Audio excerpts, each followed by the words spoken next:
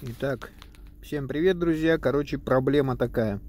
Сегодня поставил себе новый генератор на 140 ампер и обнаружил вот такой прикол. Вот я покатался, у меня сейчас 14,1.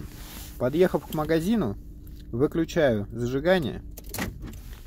Напряжение остается 14,1, а на аккумуляторе напряжение падает 13,1.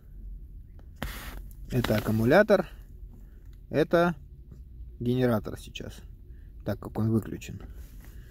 Все, вот напряжение 12,9, 13, ну то есть нормальное аккумуляторное напряжение. Как только я включаю снова зажигание, пока идет считывание ошибок, напряжение немножко падает. Потом в момент самого заведения происходит просадка до 11 вольт.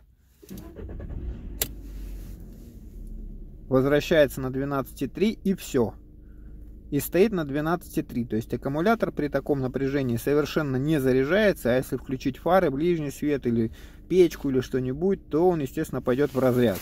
И здесь вот значочек показывает, что, ну, типа, маленькое напряжение. Теперь смотрите, что я делаю дальше. Газую до 2000 оборотов. Ничего не происходит.